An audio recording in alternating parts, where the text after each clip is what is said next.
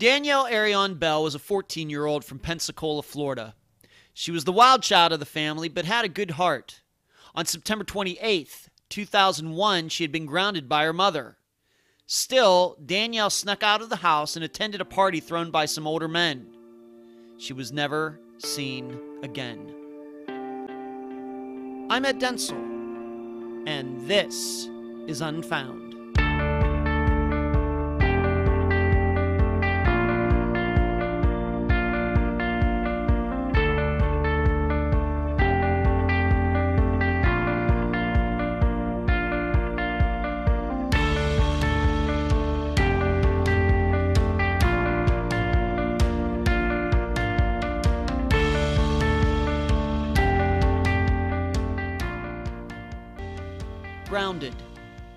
You hear that word, what definition do you think of first? If you're a pilot, you think of not being able to fly because of snow or whatever reason. If you're someone who is concerned with her own well being, you think of being humble and modest and not being arrogant and selfish. Then, if you're a child or parent, you think of punishment, the penalty you dole out or receive for improper behavior. But you know what's funny? Although these three definitions are seemingly different and get their own sentence or paragraph in a dictionary, they are actually quite the same.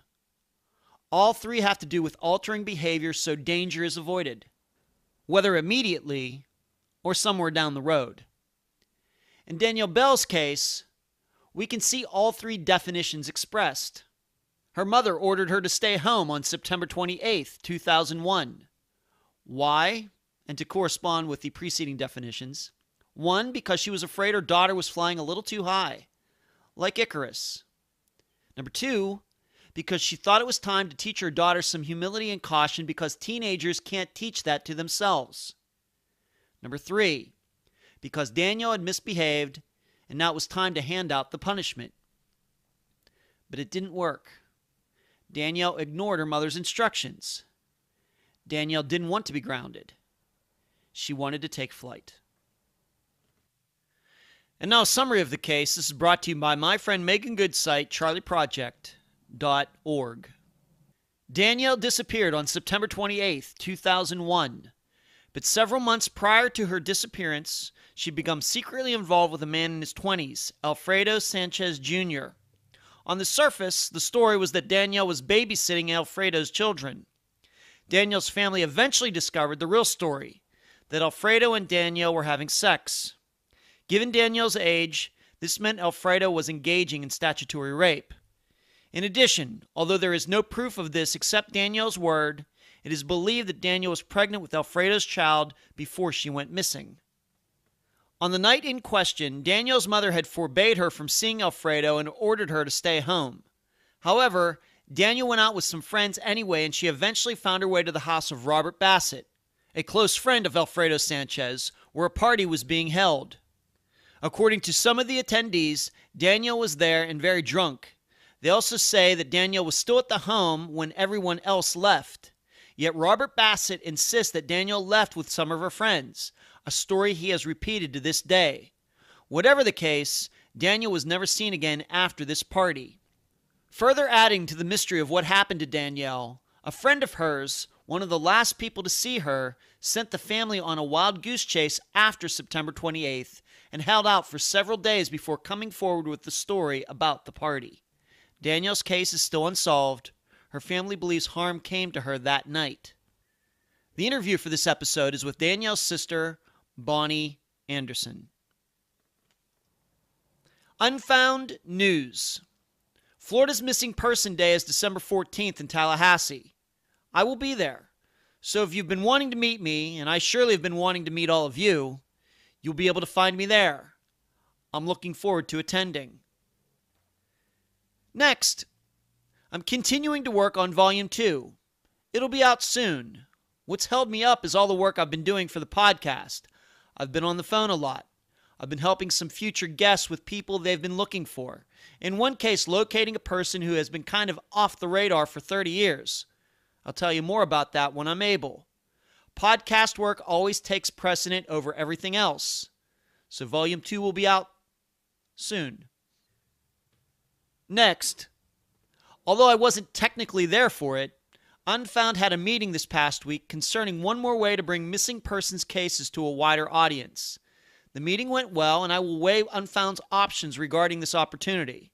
What's most important is that I will not allow the plight of missing persons families and the epidemic of people going missing to be watered down in any way. If their stories are going to be told, it has to be done truthfully and realistically. Finally, and finally, I can make the big announcement I've been talking about for two weeks. Unfound is now being carried by Trib Total Media, publisher of the Tribune Review newspaper in Pittsburgh, Pennsylvania. Their website is triblive.com. And to get to Unfound there, it's triblive.com forward slash news forward slash unfound. I will also be working with them to publish a once a month in depth article on a missing persons case from Western Pennsylvania. This will start in January. This is a tremendous opportunity for myself and the podcast, but as with everything else Unfound does, the goal is to use this new venture to solve cases. Period. Where you can find Unfound. Unfound is on Facebook, Instagram, Twitter, YouTube, iTunes, Podomatic, Stitcher, TuneIn Radio, Podbean, and Overcast.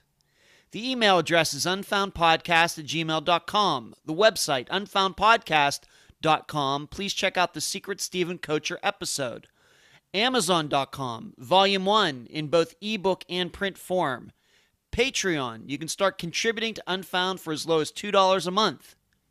And please mention Unfound on all the true crime Facebook pages and other websites and forums. Thank you.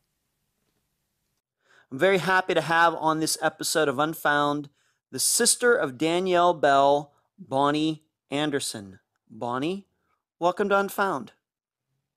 Thank you for having me. Tell the listeners a little bit about your younger sister, Danielle. Um, you're, I think, eight years older than she is. What was it like being her older sister?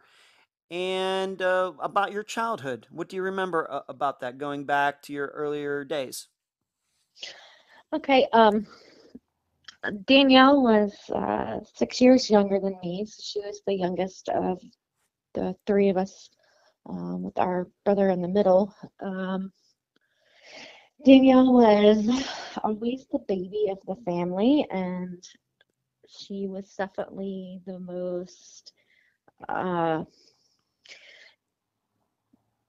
daring, and she was a risk taker. She was very vibrant, uh, had a lot of personality. Mm. Um, she was, like I said, definitely the baby of the family. Growing up, um,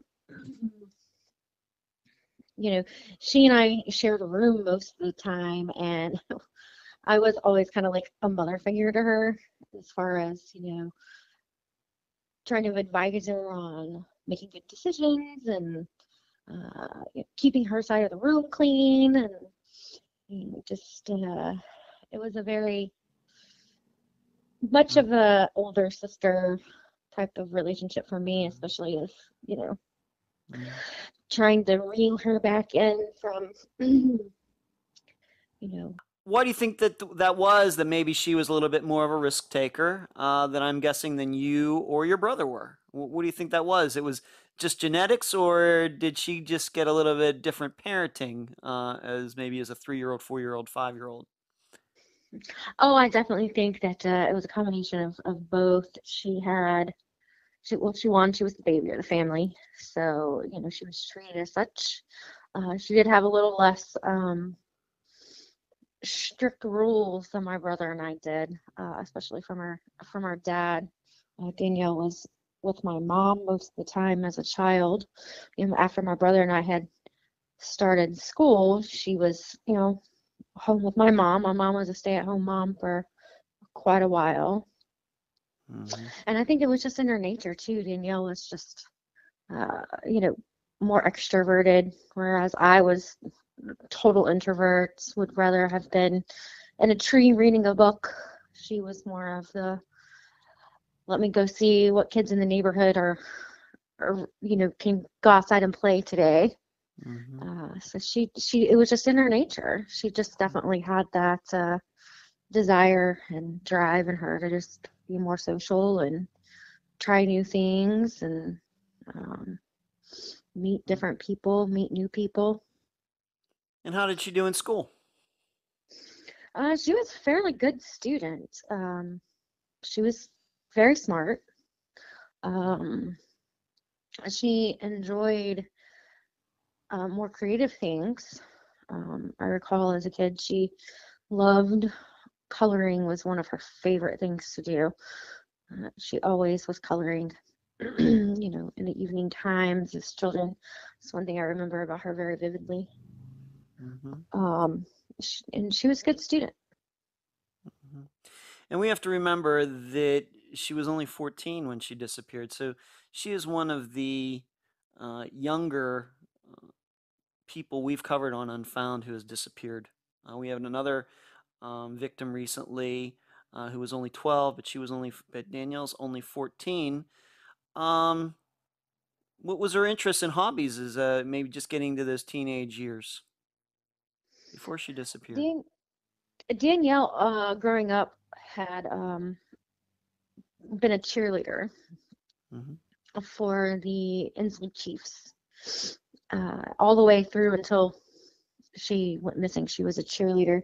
That was a very big interest for her.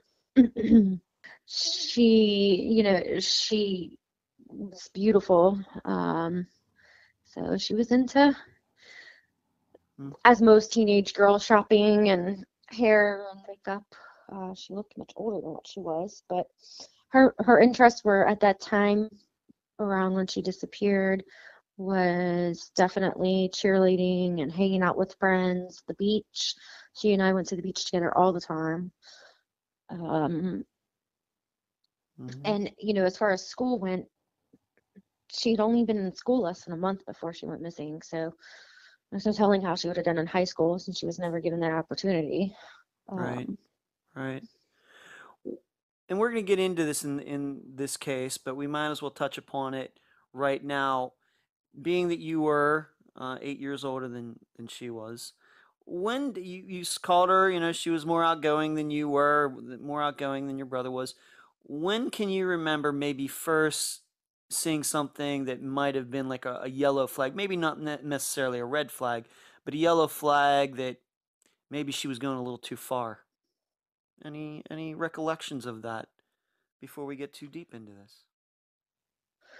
Um the very first event that occurred that just didn't settle right with me was about two weeks before she went missing.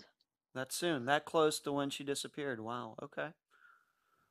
Okay. So uh, beforehand, I mean, I, I don't recall any specific incident where, you know, she prior to this that she, I mean, yeah, she was a little bit more of a and in, in general, like I said, a risk taker, but I can't think of anything that I thought, oh, well, she's going to head down the wrong path prior to this. Yeah, I was more of a of the straight laced kid, so I was probably a little bit too much like Danielle, you can't do this. You shouldn't do that. You know, you need to put your nose in a book and, and that's all you need to do, you know. And that was just not the person that she was. Um, but about two weeks before she went missing, I had picked her up from my mom's house and picked my brother up from my dad's house, and I took them to the beach to have our pictures taken. And after we were done with the pictures, I had dropped my brother off, and as we were leaving my dad's house, she asked me if I would stop by uh, so she could use a payphone. So this was back in 2001. She didn't have a cell phone at the time. She wanted to call some. She told me she wanted to call somebody so they could come get her from the gas station, and I could just drop her off and leave her there. And I said, no. I picked you up from home, and that's where I'm going to drop you off at. Is back at home. So once we got back, I took her back to my mom's house. Um, the dinner was made, so I was eating dinner.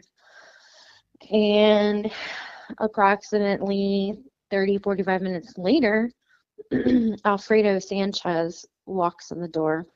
First time I've ever met Alfredo, had seen Alfredo or heard of Alfredo.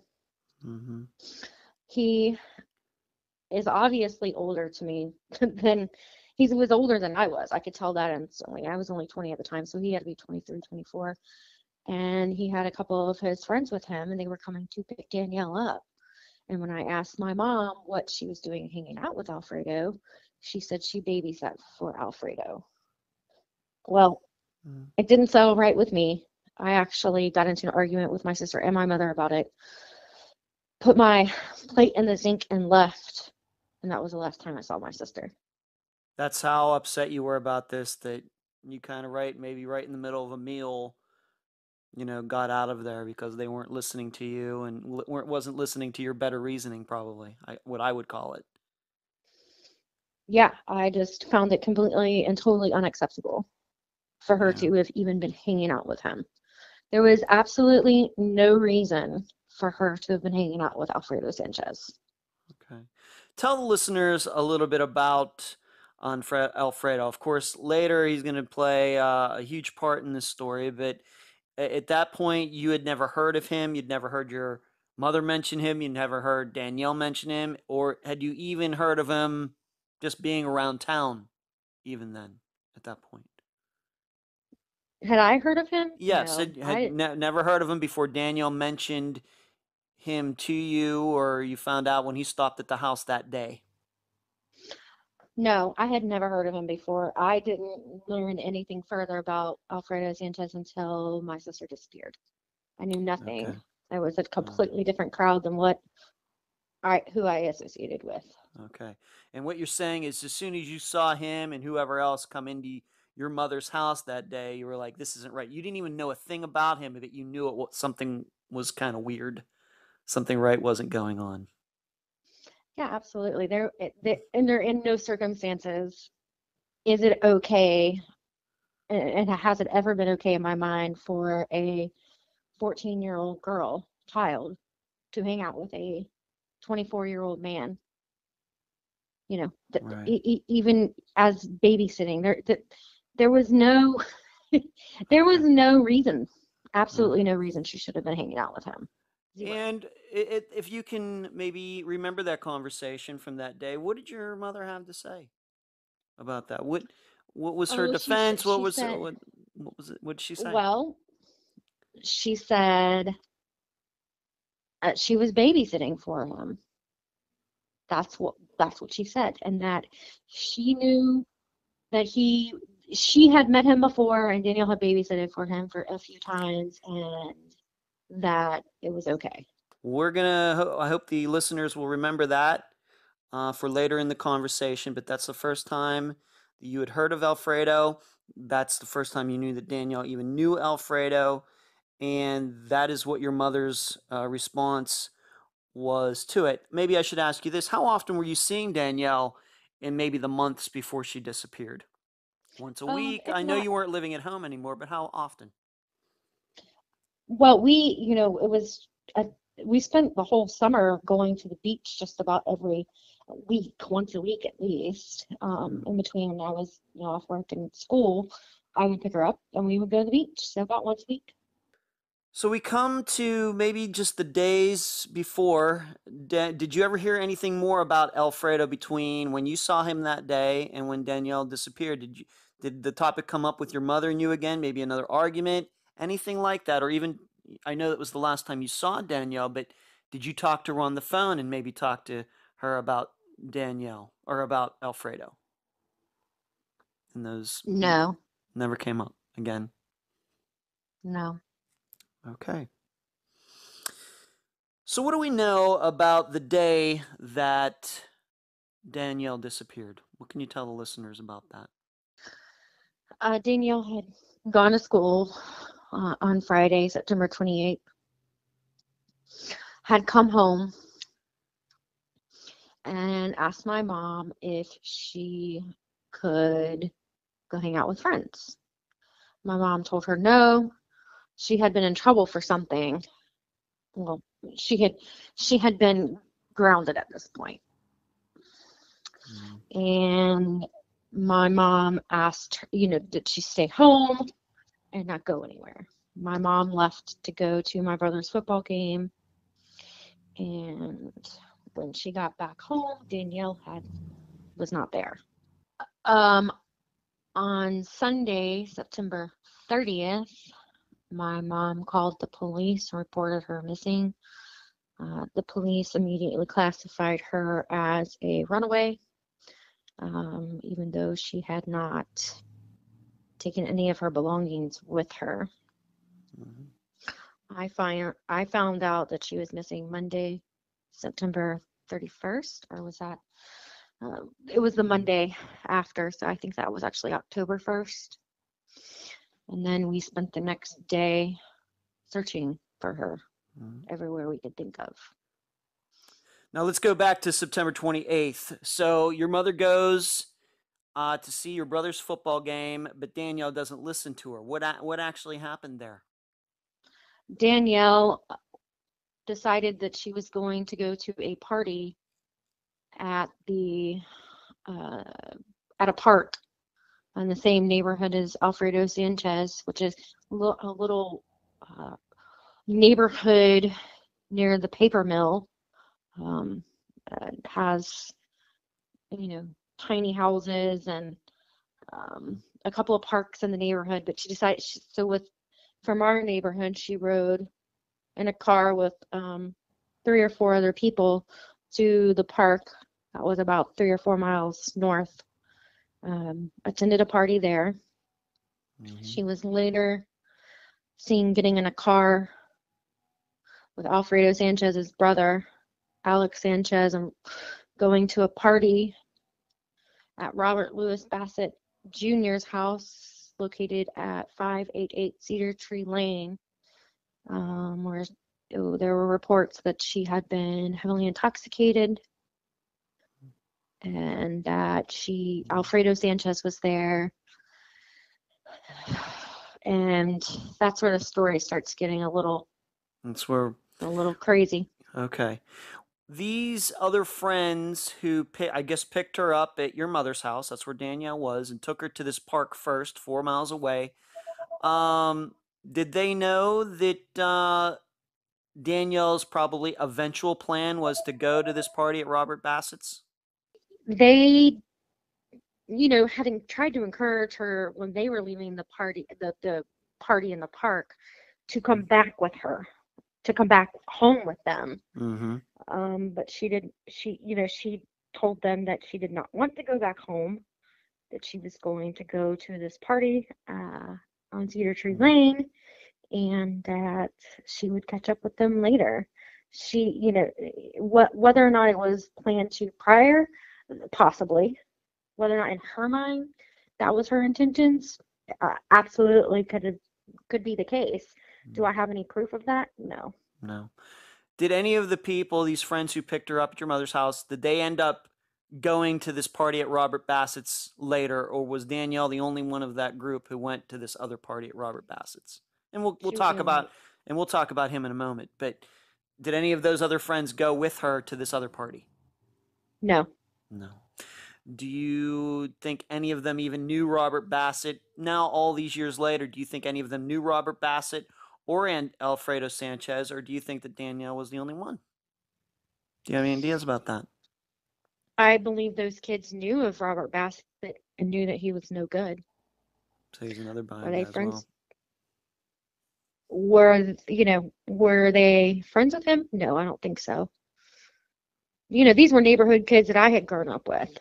Yeah. And I have talked to these these boys since then and 100% believe everything that they say. Okay. And have full trust that their intentions were not negative. Right. Right.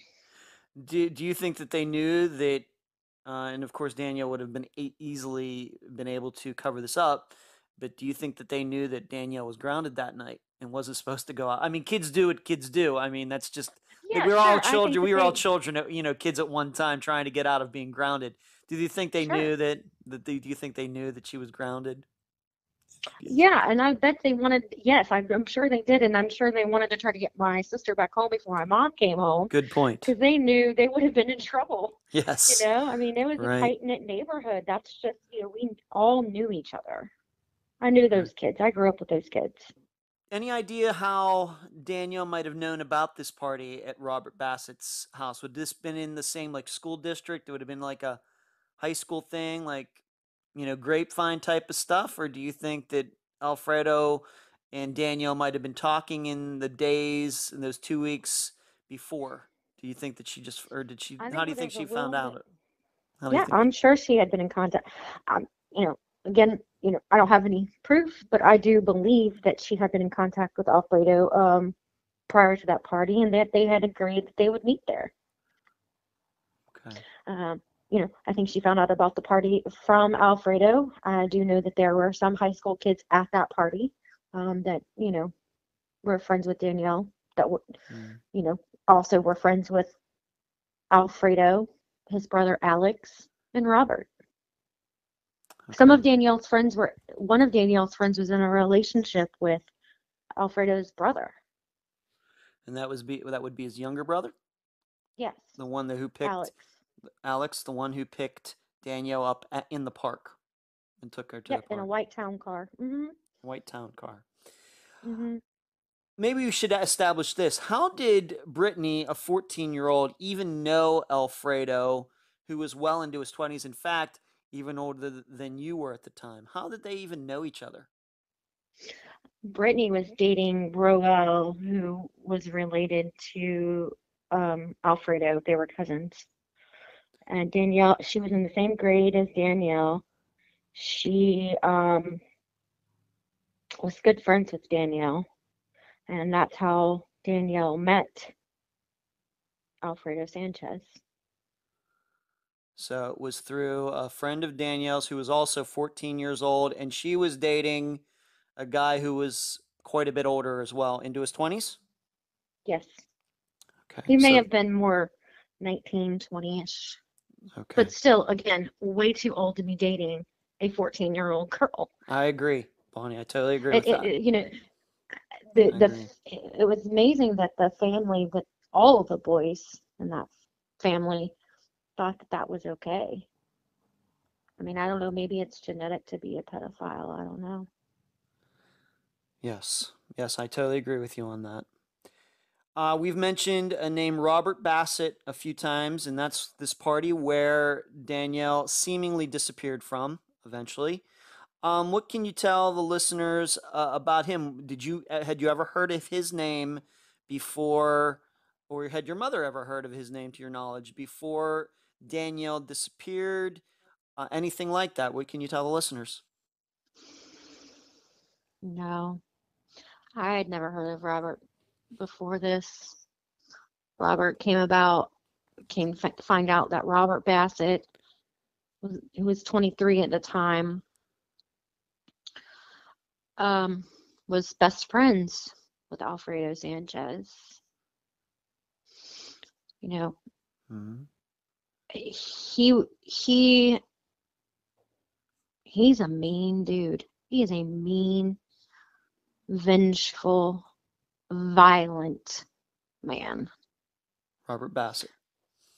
yeah So, si- since 2001, he's maybe been in jail, has felonies on his record, things like that. oh yeah oh yeah Okay.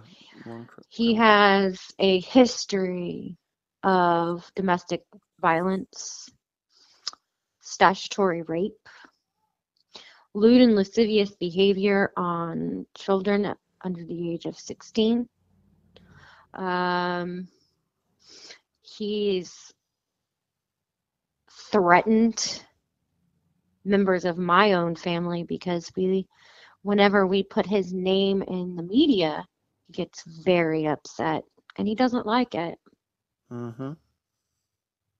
Okay. So let's talk about this party that he was having. Where was this party? Was is it was it was at his mother's house, correct? And she was like uh, gone or Yes, something like that. Yeah, from what I understand, his mother was at work when he was having the party. It was at his, he did live with his mother. Mm-hmm. Um, from what I understand, these parties were not, uh, you know, this wasn't the only party that he had. I guess he was also known as, you know, having these parties and passing out drugs and alcohol to underage people. Um, Mhm. this was pretty, I think this was a pretty standard practice for uh, Robert Bassett. Okay. So, what have you heard happened at this party? As, as best as we can tell, Danielle shows up there with Alfredo Sanchez's uh, younger brother, Alex. And what have you heard about that? Have you talked to any of the people who were at that party? Sure. How would they describe uh, Danielle's behavior there? And then we'll get into what Robert said happened in contrast to maybe a couple of the last party goers who saw Danielle there. But uh, what did people see? Um, what was Danielle doing at this party? Um, Danielle was, it was, there were several reports that Danielle had been um, drinking was heavily intoxicated at this party. Uh, when questioned, Robert Bassett said, and so did, you know, the whole crew, Alex, and said that she had gone home with a young lady named Stacy Kane Roberts, who was 14 at the time, and Kevin Daniel. Um, and that he said that she left his party with the two of them. When questioned, Stacy Roberts and Kevin Daniels claimed that they did not leave with her, that when they left the party, she was still there. She was still at Robert's house. Okay, so Danielle could be physically impaired, somehow me- you know mentally impaired, drunk, maybe doesn't know what she's doing. And Stacy and Kevin leave. They say she's still there. Was Robert and his gang say that Danielle left with them? Were Stacy and Kevin, to your knowledge, two of the last people uh, to leave this party, or were there several other, let's just call them innocent people, still there? Your, Yeah, do you know? witnesses. Yeah, there, you know, there were some other witnesses at the party that have come as well contradicted, you know, Robert's statements that he Mhm. that she had left with Stacy and Kevin. Um, so Mhm. eh, there were other people at the party left that said Okay. that she was still there and that when they left, she was still there with Robert that night. Okay. And we're going to get back to Stacy and possibly Kevin here in a moment. So we have contradicting stories as to whether when Danielle left, if she even left at all. But the the most important part here is that she wasn't at home when your mother got home that night. We had, you had mentioned this a little bit before, but went went on from that I guess Friday night into Saturday into Sunday and anything regarding looking for Danielle, trying to figure out where she went. And your mother, or maybe you, eventually talked to Stacy, and maybe you can fill in uh, what she said and what she was saying over the, that weekend.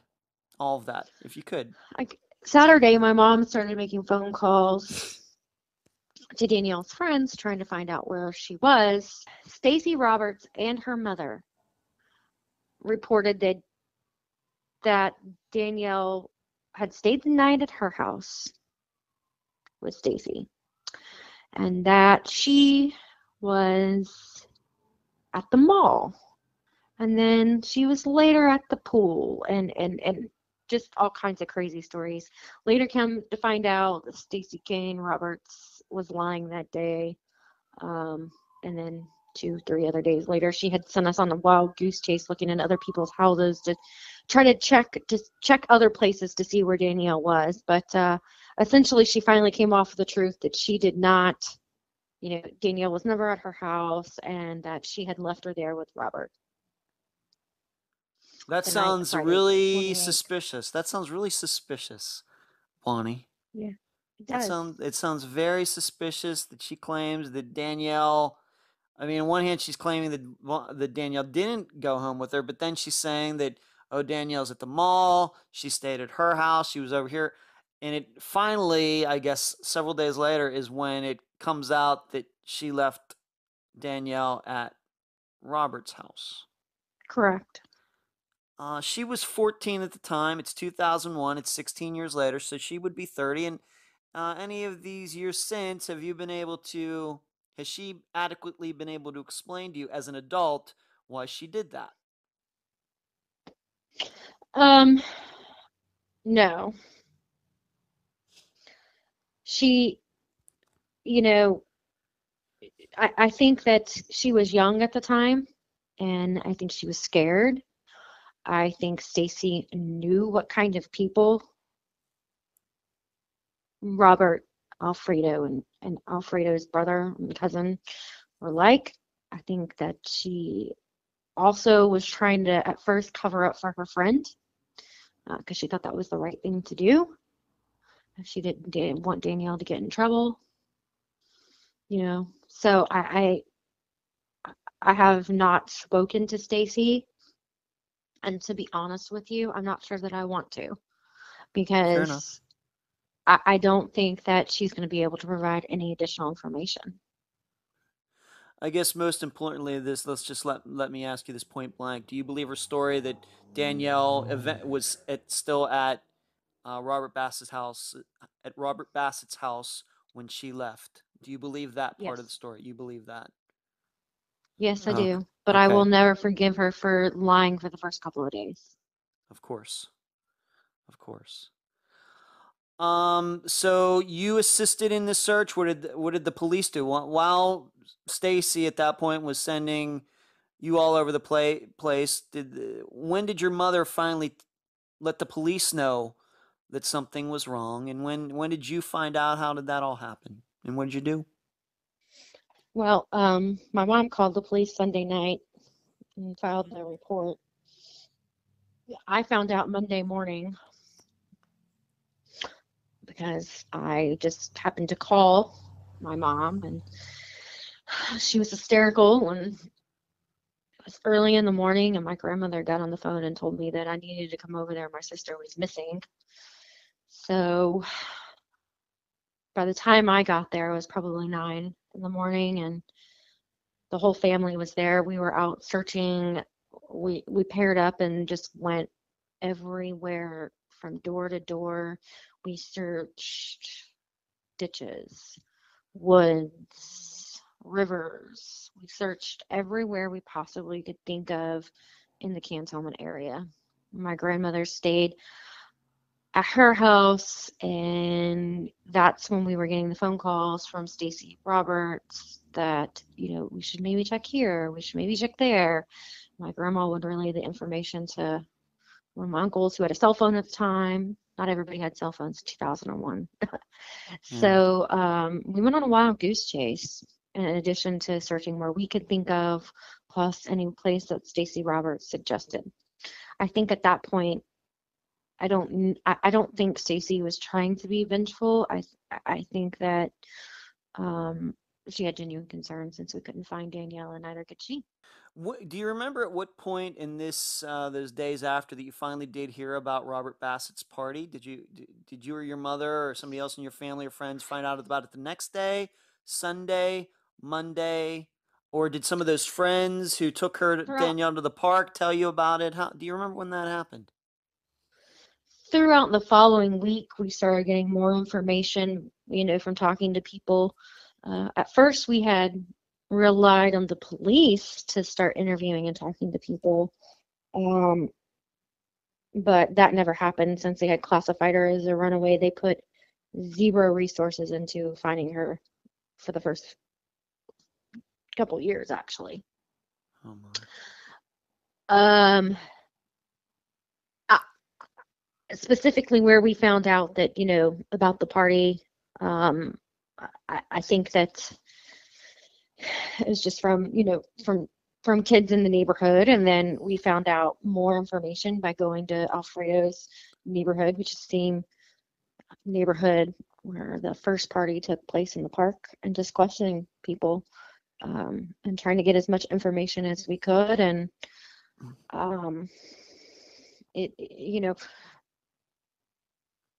I after a few a couple of days, I went back to school and and work and and just tried to, you know, do I, I would spend the nights passing out flyers across Pensacola, anywhere I could think of, all the way down to, you know, South Alabama, the beaches, and and just making sure that there was a flyer on every gas station window, every store window. I mean, so I, that was at the time what I was doing. I, as far as the information and the details, you know, that my my dad and my mom were really handling that, especially my dad, um, and trying to piece it together.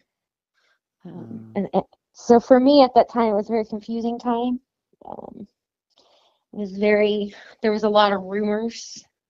Uh, one of the main rumors that always stuck out and that kept coming back up was that she had stayed the night with Robert or had, you know, intended on staying the night and that she was murdered by Robert Bassett, Alfredo Sanchez, his cousin, and his brother, chopped up and put into a hog pen because hogs eat everything except for the teeth. That's that horrible. rumor kept coming. That's horrible. I I, I mean- can't I can't imagine being in that situation, hearing something like that. Well, you know, at first it was really hard to hear, but after you hear it over and over again for 16 years, you kind of become a little desensitized to it. It's just a fact now. To me, it's a fact. It's a, it's a fact that that rumor keeps Mm. coming up. It's a it- it's a possible Yeah. it's a possible ending Yeah. to this case too. Yeah, there's no proof of that, but it's a possibility. Absolutely. Did the police in those uh, once the police, I mean, they classified her as a, as a runaway, but did they ever go to Robert Bassett's house? Did they ever go inside the house? Did they ever talk to his mother? Anything like that in the first couple weeks, first couple months, anything like that? The police in official capacity. Yeah, they interviewed um, both Alfredo and Robert on multiple occasions. They could never get them to say, you know, what happened. At, at, in the very beginning, Alfredo Sanchez claimed he didn't even know Danielle, as well as his younger brother, Alex. He also claimed he didn't know my sister. Even though all those Um, people saw him pick her up at that park that night, and those people that those kids at the park are surely more believable than Alex or Alfredo or Robert Bassett is. Well, absolutely. Yeah. Robert Bassett and Alfredo Sanchez are pedophiles. They're rapists. They're liars. But the, uh, Robert never, of course, the case is still unsolved today. So Robert never, he stuck to his story that's that Danielle left with Stacy and Kevin. What did Kevin have to say about all of this? I mean, was was he as um, did he he did he send anybody on a wild goose chase like Stacy did, or did he just keep his mouth shut, or what do you remember him saying during this those first few weeks? I don't remember Kevin saying anything. He kept his mouth shut for the most part and just said that when they left, she was still at um, Robert's house. Okay. And just to give the listeners an idea, I know you weren't there, of course, but how big was this party? Would you say it was 20 people, 30 people? Oh yeah, definitely, and the, if not more, there was around about thirty people at least. So it was a big deal. Lots Sure. of alcohol flowing and lots of other things flowing. And uh, is this house like in a neighborhood? The neighbors would know that something was going on next door. There would be cars parked up and down the street, Mhm. stuff like that. That kind of party. Yeah, yeah. The, and plus, yes, the party was in a rural area. You know, what I mean, this is the country you're talking about. There, the the houses are spaced out by about two to three acres. So, Oh, okay. so there's plenty of room to have a party, and you know, that's it's definitely the country. Let's get back to Alfredo Sanchez a little bit. Was he sighted at the party? Did people see him at the party? Yes. Okay. But he actually, technically, at least at first, had an alibi for that night. What can you tell the listeners about that? Robert, I'm sorry, Alfredo's girlfriend at the time, or supposed girlfriend, baby mama, had said that he was with her that night. Later came out that she lied for him because he told her to. He had been abusive to her, had threatened her, had threatened her life if she did not tell the police that he was with her that night. Mm-hmm. And you believe that, don't you? You believe that that she was really afraid. I've since talked to her on the phone one on one. Yes, I believe her. Okay. And how long did she put up that fake alibi uh, for a year or two years or do you, any idea? Like years? Years? Would you say? Years, years, years, years, years. Okay. Yes, years. Okay. She, you know, she had. I know she had one child with Alfredo, I, and the child was small at the time.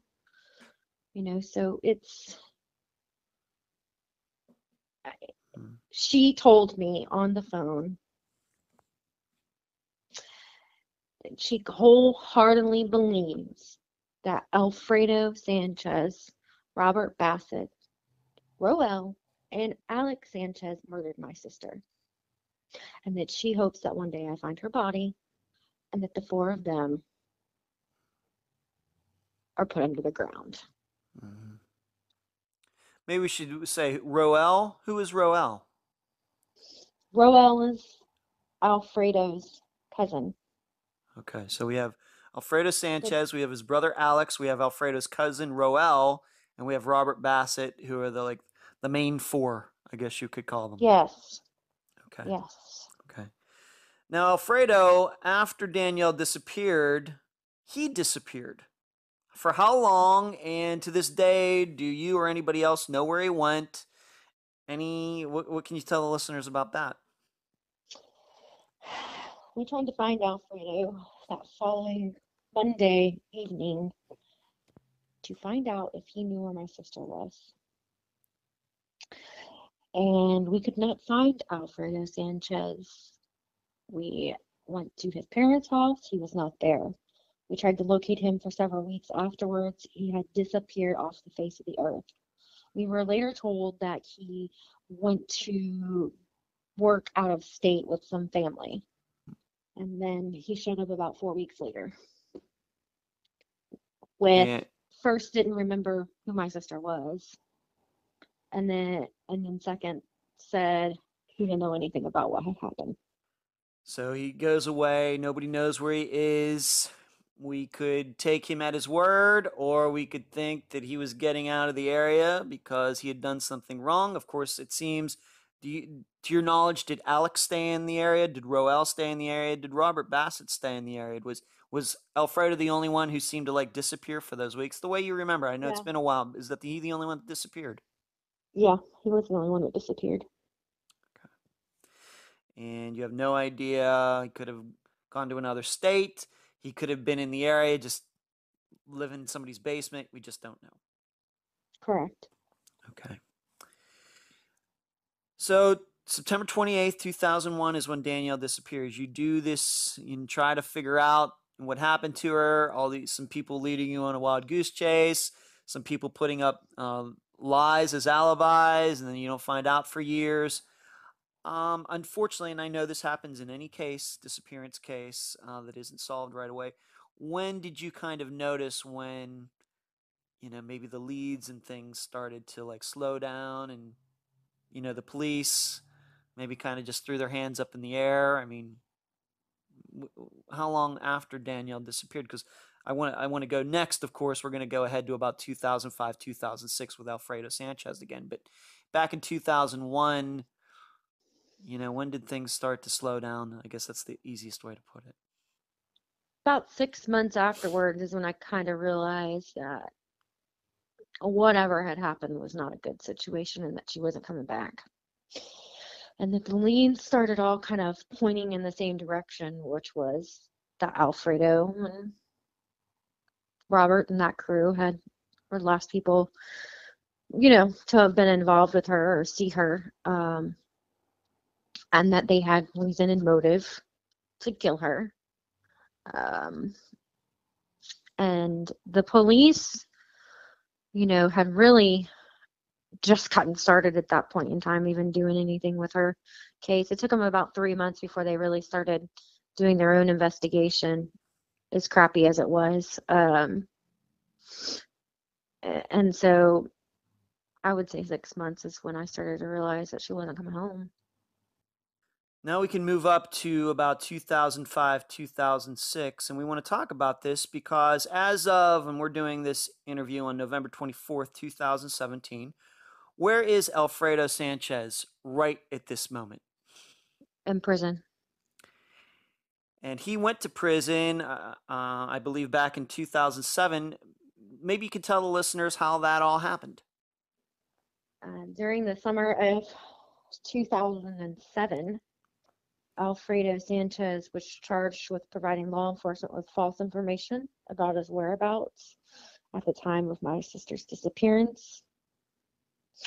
He was also imprisoned for, I believe, 30 years for lewd lascivious acts against two minors, one of them being my sister. He was charged with, you know, raping my sister. And this is interesting because, of course, your sister Danielle is disappeared. She couldn't testify against him in 2007.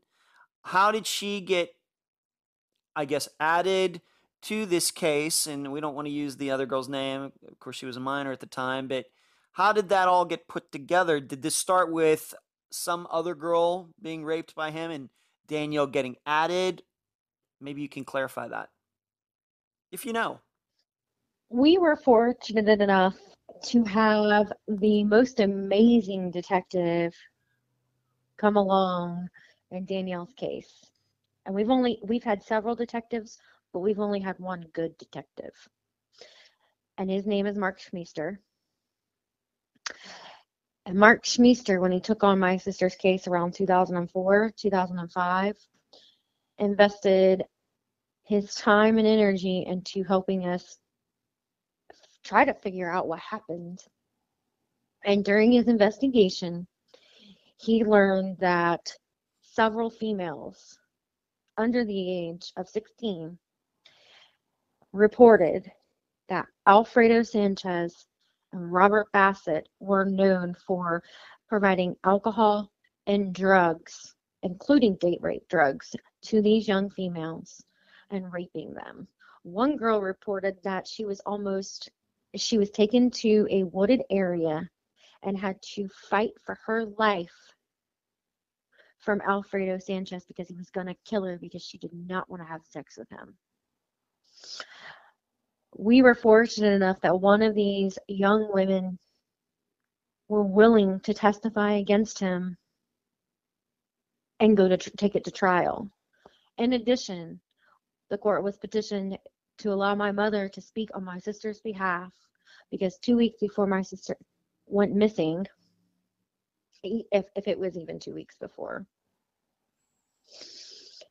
she reported that she believed she was pregnant, that Alfredo Sanchez had given her drugs and alcohol and had been having sex with her over the summer. Danielle told that to who? Your mother? My mother Okay. and that was um, that's very unique because you know i'm no legal scholar but that almost i'm not saying it is but it, it does sound like hearsay I, am amazed that alfredo sanchez's lawyers uh, you know allowed that that's very i think that's very unique maybe i don't i'm not sh- i don't know but it sounds very unique you uh, were you surprised by that i mean i'm, I'm i know you you know uh, of course appreciated that happening but uh, were you surprised by that yeah, absolutely. I I was one, I was thrilled that they were going to be able to do that, but two, you know, I did think it was a unique. Um, you know, I I'm certainly glad it happened, but yeah, absolutely. I have a undergraduate degree in legal studies, so I very familiar with um, what's needed to take a case to trial, and yeah. I was absolutely shocked.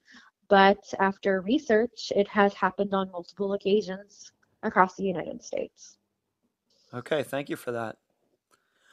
Thank you. Um, so eventually, he was found guilty eh, during this trial. I, I guess, uh, including the charges um, brought by the prosecutor, including your your sister Danielle's, the charges against Alfredo levied by Danielle, even though she wasn't there. Mm-hmm. And Alfredo went to Joan, like you said, it was for 30 years in 2007. So he's not going to be getting out anytime soon. Correct. Okay. He's he's petitioned and motioned to, you know, okay. for I'm trying to look for the right terminology, but he's you know he's he's appealed several times, and each hmm. time he appeals, he's uh, represented himself, and he's done a very poor job of um, making his case. I was fortunate enough a few years, uh, one of the last ones he did here uh, in Escambia County, um, watched him do it, and he he's probably recommended the next appeal he gets, he hires an attorney. Okay, so he's not exactly a jailhouse lawyer yet.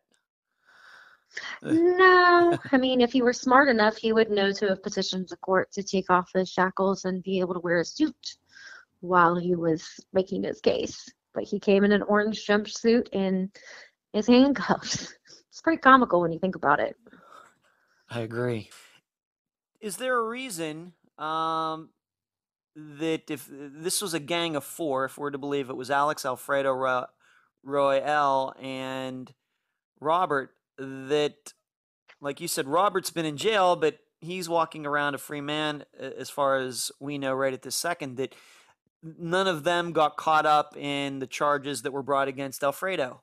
Any any insight into that? And were any of them asked to be, you know, defendants or you know, were they called into court during any of these proceedings whatsoever back in 2007? Um, not well, I do know that they that the, the, detectives have tried to find and talk to Alex Sanchez, but he always evades them. He kind of lays low and doesn't, uh, you know, do a whole lot. Um, anytime they've questioned Robert Bassett about any of these things, he sticks to his story and says he doesn't know anything. Mm-hmm. And you know, he he's uh he's been in and out of jail for other stuff. Okay, but nothing. No, not yes, please. It does. Thank you. Uh, but nothing. None of the charges brought against Robert reached the level of what Alfredo has been charged with and went to jail for. Obviously not. Amazingly, no, it hasn't. I mean, when you look at this guy's rap sheet, you know, he's got felony battery, escape, traffic and stolen property, interfering with child custody, burglary, multiple domestic violence cases. This guy does a couple years in prison, gets out, gets a job at a fast food restaurant, keeps it for three or four months. I mean, you know, this guy, it's amazing. What my point is, is it's amazing to me that he hasn't gotten caught up in it and that he he's not in jail for anything related to this or that he hasn't been put in prison and kept in prison for some other type of charge because this dude is crazy. Well, you live up in the that area. Uh, do you think it's just lucky, or do you think that he has some connections or anything like that? Just lucky? Or? To be honest, I think he's just lucky. I think he does just enough to get in trouble but yet skirt skirt stuff. You know, okay. he doesn't mind doing a couple years in there, but one day, this dude's gonna either kill somebody again, or he's gonna end up in prison for a really long time. This is this is not the kind of dude you want your daughter dating. No, and he would be. He was in his what early twenties uh, He was maybe mid 23, yeah, 20, 23, 23 24. back in 2001. So he would be getting close to 40 now. Yes, as a matter of fact, uh, he has a birthday coming up in December. I do believe it's December 12th. Okay. So you even know what his birthday is. Okay. I know a lot about these gentlemen. Okay. I didn't know that. Okay.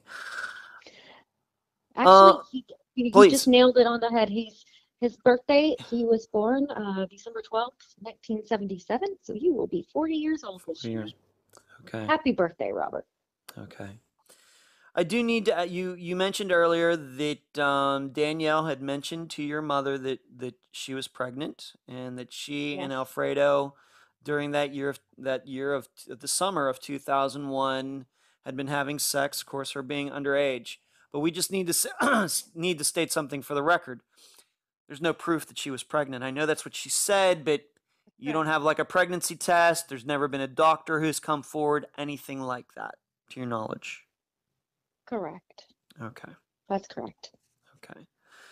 You know, she had made it, my mom had made a doctor's appointment for the following week, the week of, you know, October 1st, to take her to the doctor to find out if she was pregnant. Um, you know, and it's my my belief, as well as anybody who reads the case files and the facts, that Alfredo Sanchez murdered my sister because he didn't want to go to jail for statutory rape because his uncle had just been sentenced to prison for child molestation. And, you know, my sister was grounded prior to her disappearance from going anywhere because my mom, because, you know, she told my mom that she had been, you know she was in fact not babysitting his children. She was over there doing drugs and drinking and, you know, doing things that she shouldn't have been doing. Yes, you had mentioned that uh, his uncle had got in trouble. In fact, in the Sanchez family, they kind of have a little bit of a family history of un, uh, dating the men going out and raping underage women. Doesn't Alfredo also have a son that was charged with that? Yeah, most recently his son was, yes. Okay.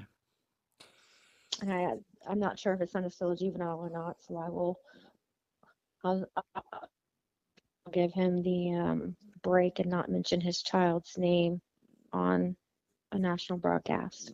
Okay. Let's go back to Robert Bassett for just a little bit. You had told me that um, two things. One, tell the listeners about uh, the sewer of his mother's house, and then when it, and when that happened, and how that happened, and then we can talk about this exchange he had with some woman on Facebook. We can, we can Oh, talk about there. Let's see. Um, trying to get the exact date, but was the Escambia County Sheriff's Office um, actually searched the sewer of Robert Bassett's house or his mother's house um, in 2000, I want to say 2008, 9, or 10. I, I can find the date here, but and you know, and nothing was found. I, you know, we'll mention that. hmm Any idea on, on how that lead got started? How the police found out about that? Do you think it was like a shot in the dark? Any idea? I think the police actually started doing their job after Mark Schmeester came along and they started okay. actually investigating the leads. Oh, okay. Right. So that that search coincided with that detective, the good detective, getting on those case for those those few years, and that's when that happened. Correct. Okay. But nothing was found, and and truthfully, I'm no sewer expert. I don't know if any, even if something, if somehow Danielle was put in the sewer or something like that. I don't even know how it show up so many years later. I don't know anything about that. But obviously, they thought that that was a, a good lead for some reason. Yeah, I, I, I just looked, found the article. Um, it was October 2010. The Escambia County Sheriff's Office Cold Case Unit um, served a search warrant and uh, searched that septic tank. Now, you know, that property had been searched before um, with canine units from Klaas Kids and, and other uh, Escambia County Search and Rescue. Um, but that whole area has been searched with cadaver dogs and horseback. You know, some areas are thick and wooded, so it's uh, definitely we've had a lot, you know, despite what I feel is the Escambia County Sheriff's Department failure to provide adequate investigation and search and rescue efforts in the beginning. We've been very fortunate that Klaas Kids, uh, their executive director, Brad Dennis, and his whole team have spent limited amount. I mean, it, it, it's, amazing to me what these people do, but they, they, they sleep, breathe, and eat search and rescue. And these people have searched multiple times for my sister, multiple times. And, it, it, and it's people like that that give me hope, you know, and that make a true difference in these cases. Mm-hmm. Uh, that brings me a, a question. It's not, uh, I wasn't planning to ask you about this, but if you've had a chance to uh, talk to Brad Dennis or any other people that work for that organization, um, do they happen to know, being that you talked about, um, we're gonna that this will be mentioned in the uh, discussion Robert Bassett had with this one online, but do Brad Dennis and the other these people uh, buy into the idea that Danielle was fed to hogs? And if that's the case, did Alfredo Sanchez know anybody who has a farm where he could have done that? Do, did have you ever talked to Brad Dennis about that? Uh, you know, Brad Dennis um, has not specifically told me that that's what he believes happened. Mm. Uh, my conversations with him are that he believes that, you know, her body will be found somewhere in this area, is what he's told me. Okay. You know, he's never made it a specific, you know, uh, fashion in which he believes she's been murdered, but he does believe that we will eventually find her body in this area. Okay. So he's not, what you're saying is, I guess he's not necessarily buying into any particular theory of uh, if Danielle's not with us anymore of what happened to her, but he's just secure in the idea that if you keep searching, you'll find her, you know, one way or the other. That, however, the those in Klaas Kids that maintain my sister's case files believe theorized that Alfredo Sanchez and Robert Bassett have something to do with my sister's disappearance. Right. There is zero question about that. I agree. In the way in which she was murdered, because she was murdered and they murdered her. I know that. I I just I know it and I'm going to eventually find out how and where she is. Mm. But the who has never been a question. Mm. The where is the question. Where did they put her body is the question. And as I said before, I will find out. It may not be today, it may be 20 years from now, but I will find her body. I believe you, Bonnie. I believe you. The conversation with Robert on, we're not going to mention the woman's name that he had this conversation with, but when did this conversation happen? And I guess it was somewhat in public, being that it's on Facebook. Mm-hmm. What what did uh, we'll just have to keep it PG because neither of them, um, both of them, use some very adult language. But what was the essence of this conversation that Robert had with somebody uh, online on Facebook? First of all, when did this conversation happen? Do you know?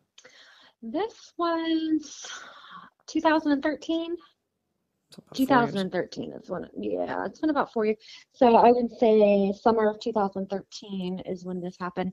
I was actually um, sleeping in that morning and got a text from one of Danielle's friends and that I, you know, that I had been Danielle was friends with her in high school, and you know, she had been a good, really good, supportive uh, friend of Danielle's ever since the disappearance, and showed up to her vigils and whatnot. But so I wasn't used to talking to her on a regular basis, so I thought it was strange. I get this text message with a screenshot and said uh, this was in a Facebook forum, closed private group. Alfred or uh, Robert Bassett had posted this statement here. Uh, let me just give you a little bit of background. It, it, it appears that he have been getting into some type of cyber argument with this uh, young lady on in the Facebook group. Mm-hmm. And she says, um, What did you do with that white girl, Danielle? You were the last one seen with her. And he responds back, In a hog pen where you need to be as well. So.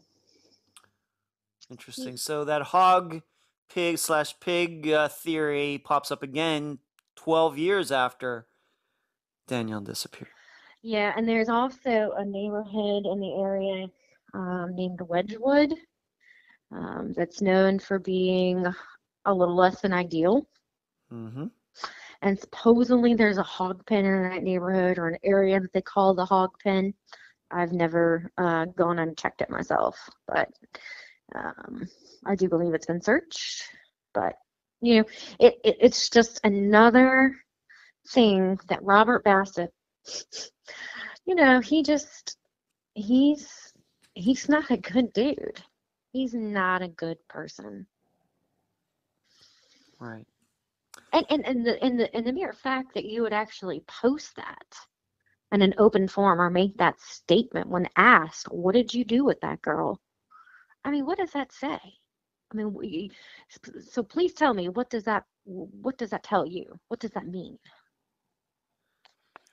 I don't know. You know, I, I do a lot. Of course, I've done over 50 of these cases so far, but, um, you know, the, I think recently I said to another guest that, you know, in the world that you and I live in, if we are uh, accused of murder, that actually brings our reputation down, you know, because we have high character.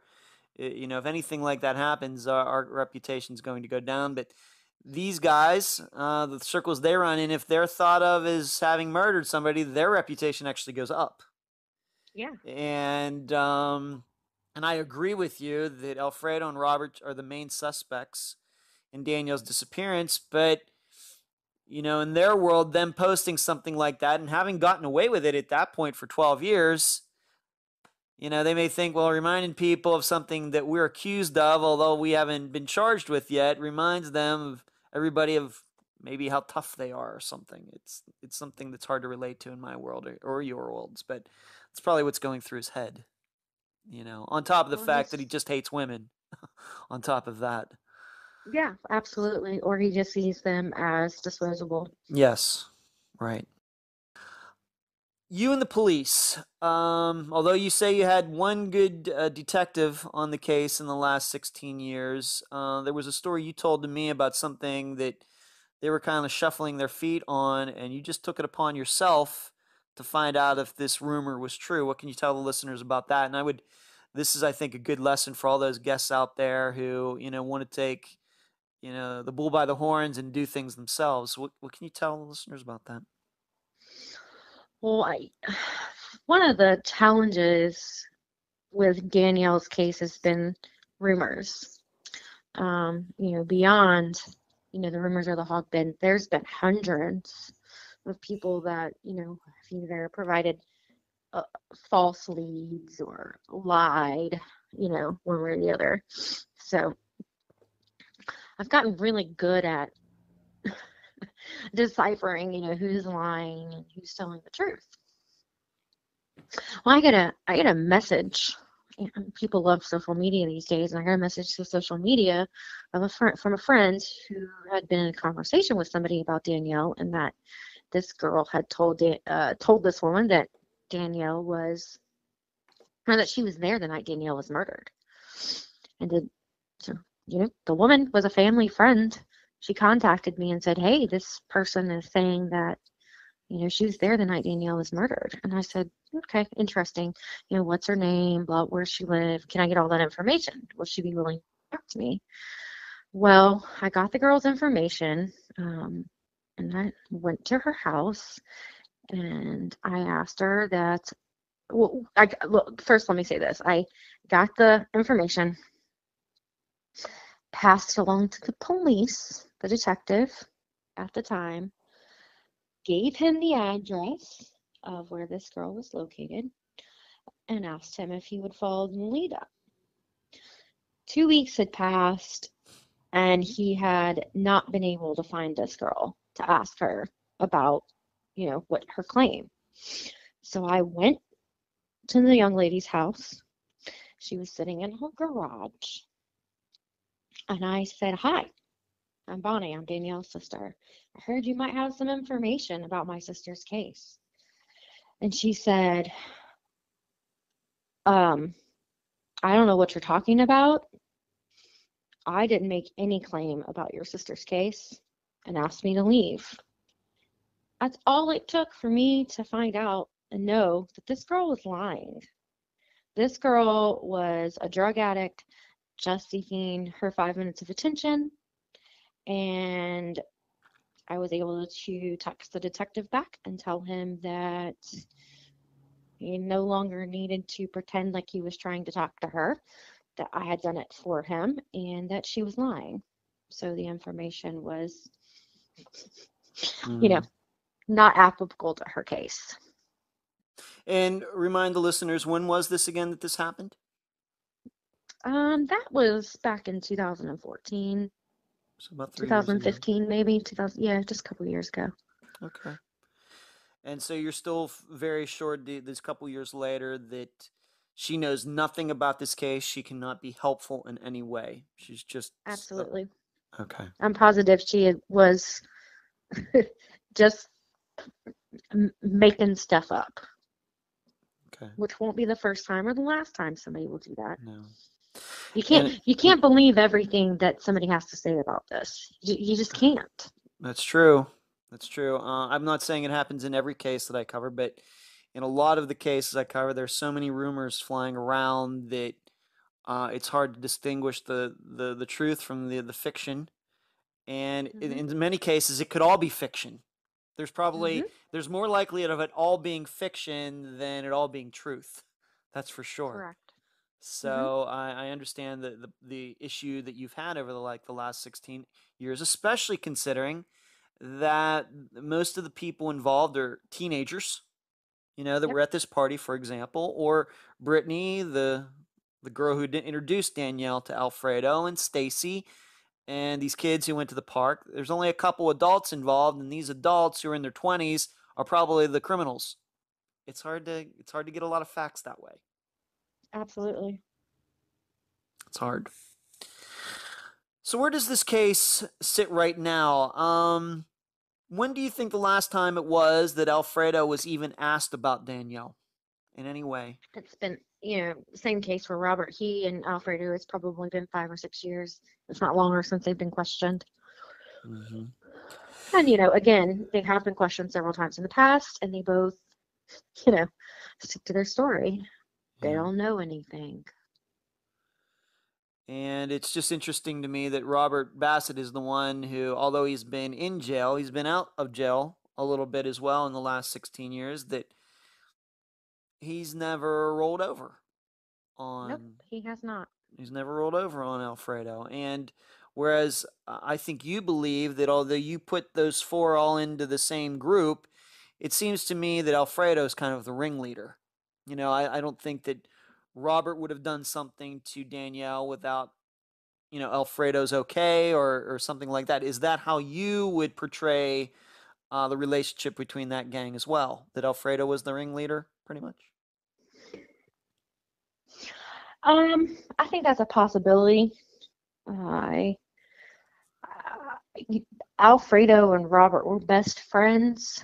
Um, so I would say there's a chance that, you know, yeah, Alfredo could have definitely been the decision maker in that group. I also, but I feel like no matter what the dynamics were, and that in some ways Robert was Alfredo's do boy. He mm. came behind Alfredo and cleaned up his messes. Okay. And um, mm. you know, looking at Alfredo, when you look at him, he's a tiny little dude. He's small. And he kind of looks a little weak. Robert is this huge, very substantial guy, you know. He's not somebody that you'd want to come in contact with in a dark corner or in an alley. It, it is just mm-hmm. so uh, the dynamics there are, are kind of interesting. I think um, mm. I don't think either one of them are very smart. I think they're just lucky. Lucky to this point, 16 years later. So far, so far, mm-hmm. yeah. To your knowledge, are there any other missing people, men or women, who can be connected to Alfredo, to um, his brother, to Roel, and to Robert Bassett? To your knowledge, uh, do you think that they might have, uh, frankly, murdered anybody else, men or women? Uh, no, not to my knowledge. All of the women that they've raped have been lucky enough to get away from them. And to your knowledge, after Danielle disappeared, did these guys continue to do what they were doing? I know Alfredo disappeared for a while, but once he came back, did they just go back to their old ways, or did did they get any? There was any signs that Danielle's disappearance might have ca- ca- caused a pause in what they were doing? For for a while, they did lay a little low, you know, a good year or two, but after that, no, they were they were hopping back on the train after that. Mm. And maybe I should ask you this: this other girl who was part of this case that eventually put Alfredo in jail. Was this a girl that uh, was before Danielle disappeared or after Danielle disappeared, or was it uh, around the same time? And was this a girl around that Danielle? It was around the same time. I do believe it was a little bit before. Um, the girl is a juvenile, a minor, so I don't even know her name. Okay, that's fine. That's fine. Mm-hmm. Did Danielle know her though? Do you think Danielle knew her, or was she uh, from, from somewhere else? From what I understand, that from what I've been told, yes. What has this done to your family in the last sixteen years, Bonnie? You know, your mother, who, uh, of course, had told Danielle to stay home that night. Your father, um, and you and your brother.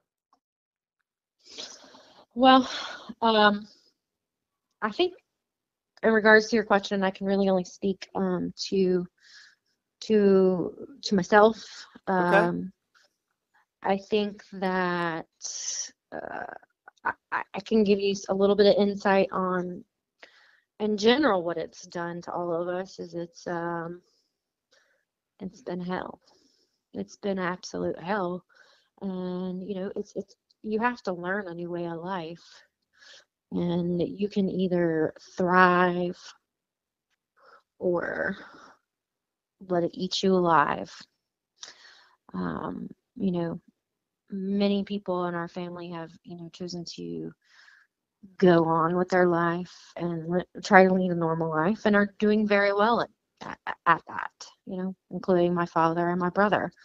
Um, I myself have, you know, took me several years to figure out how to uh, live in this situation and and find balance between you know, keeping my sister's case in the in the in the public um, view. Um, you know, helping other people, um, and, and just maintaining a, a balance in, in my life. And I think that for me, being able to meet other people who have been through the same situation, um, other other family members of missing persons. Yeah has been extremely helpful. Um, it, it's it's a new way of life. Let me just say that, I, and it's not a it's not a good way. I mean, it it's it can be very lonely if you let it. It can be very depressing um, if you allow it to be that way. But you know, I, I think the key here is keep moving forward. Hmm. Keeping my sister's story out there and not stopping. Yes.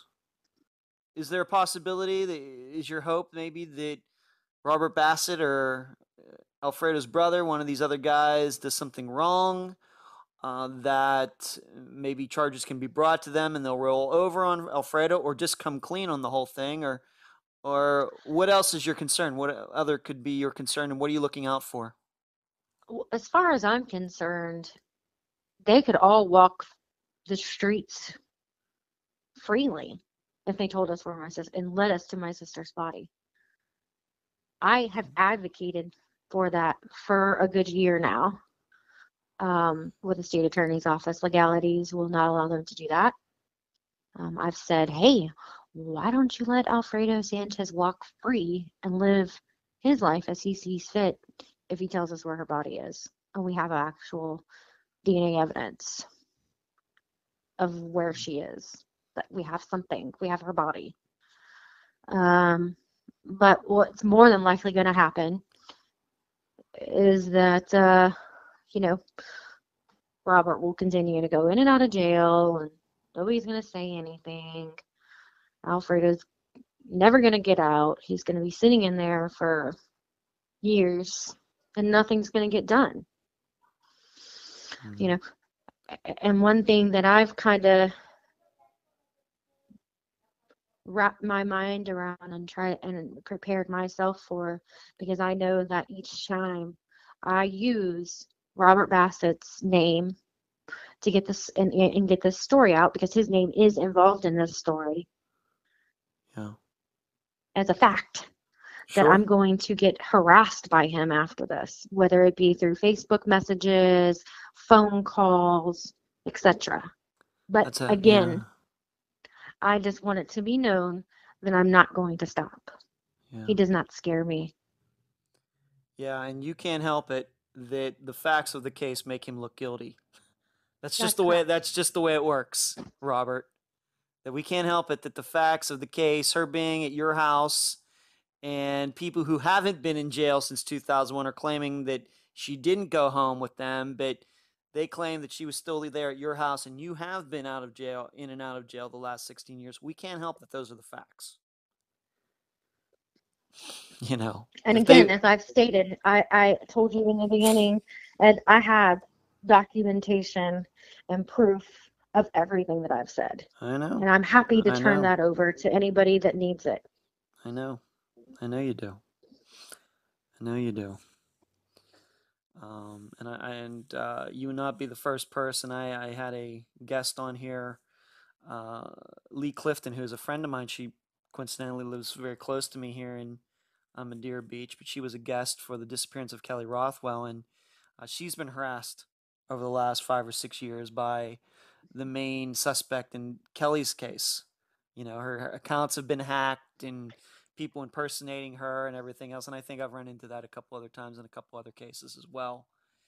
Oh, and oh, yeah. all, all yeah. that does is make these people look even more guilty than they already look. That's really all it well, does. What uh, what they're all they're trying to do is intimidate you and get you to shut up. They don't want you running your mouth because my word, my my voice is what people are listening to. My voice is what carries my sister's story and life into the present and what triggers people to say, "Hey, you know, I I heard this or you know, or I believe that, uh, you know, I know somebody that may know some information. Yeah. And I, and again, you know, all of their tactics, I'm prepared for all of them. I have been quiet. I was quiet for the first 10 years because I had to figure out how to do this. But I'm ready now. And nothing's going to stop me. I'm not going to keep my mouth shut.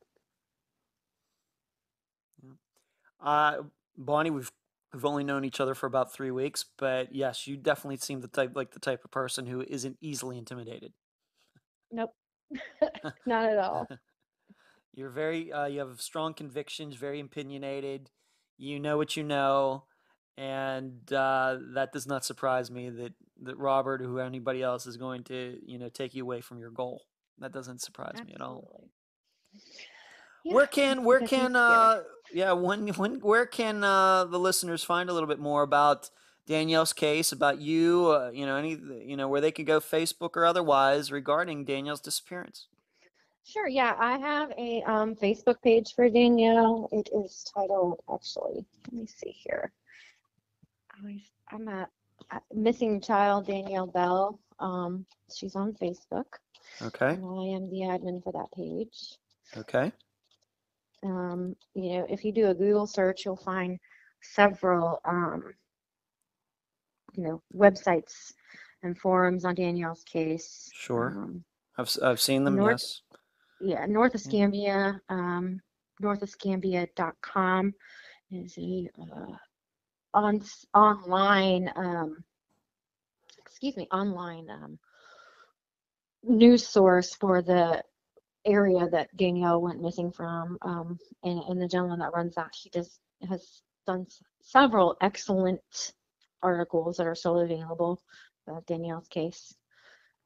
But you know, for I, I use Danielle's um, Facebook page for most of my communication, and Okay. you know, people contact me through there with um, information, and you know, um, that Right. gets, you know, when when applicable, it gets moved on to you know either law enforcement or Klaas Kids for follow up. Okay. Uh, And I I'm- will, great. And I will be posting uh, about uh, pictures of Danielle. And of course, coming up, of course, by the time people are listening to this, they'll know this, but um, I will have, you know, posted to the link on Facebook and anything else, Charley Project, those other places where Mhm. Danielle's information and uh, her story is posted. So you can expect me to do that. Just not Excellent. up in the lead up to our episode, but in the weeks, months, and years uh, that I'll be doing this program, I, I always keep my listeners and the public, you know, involved in all this stuff, and I'm always reposting old episodes and things like that. So you can you can look for that as well. Okay, great. So, um, any last words, Bonnie?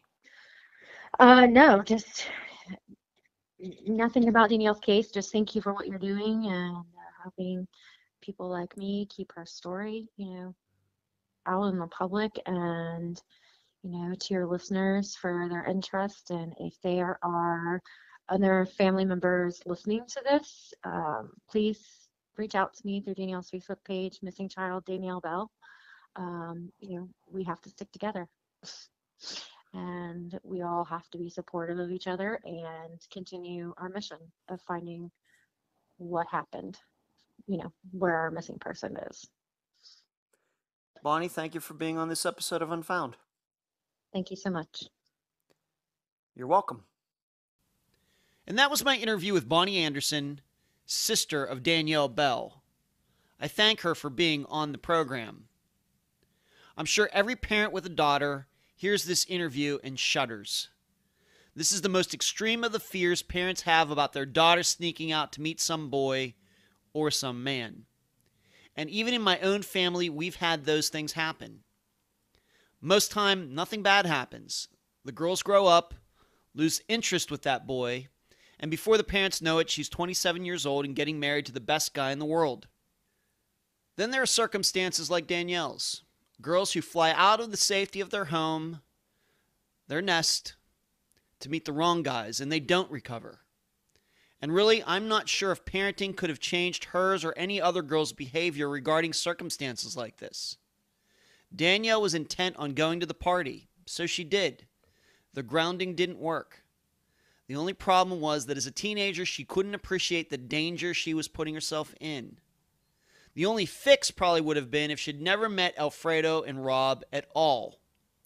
Two men who I'm sure should have been in jail for all the underage girls they met before Danielle. This is also one of the cases where the suspects are known. There's not much of a mystery here, like the disappearances of Kelly Rothwell, Jessie Foster, and others we've featured on Unfound. So I ask you, what should Bonnie and her family do now? How can the four men mentioned during this episode be brought to justice for what they did to Danielle Bell? I'll leave the rest of the theorizing up to you. And that's the program. If you found it informative, please go to the app that you use to listen to Unfound and give this podcast a nice review. I thank you for listening. I'm Ed Denzel, and you've been listening to Unfound.